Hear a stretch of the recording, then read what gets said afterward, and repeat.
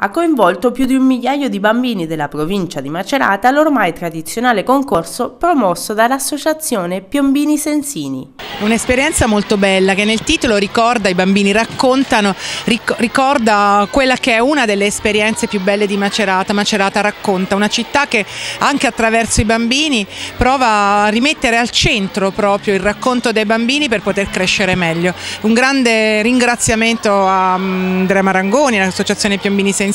ma un grande ringraziamento alle maestre delle scuole perché hanno sempre una grande voglia di partecipare un grande desiderio di essere parte attiva della città. L'associazione organizza um, ogni anno un concorso per i bambini della scuola primaria diciamo, della provincia di Macerata, quest'anno hanno partecipato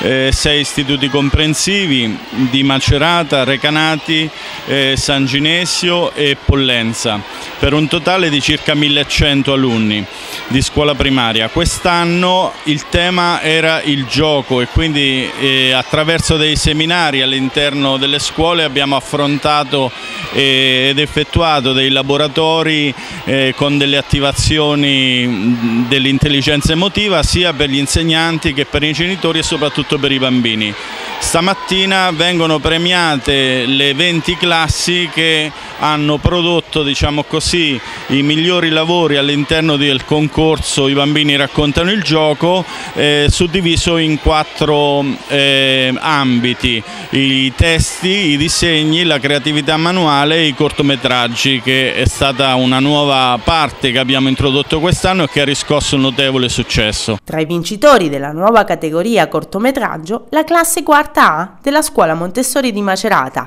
guidata dalla maestra Maria Lambertucci. È stata un'esperienza eh, nuova per noi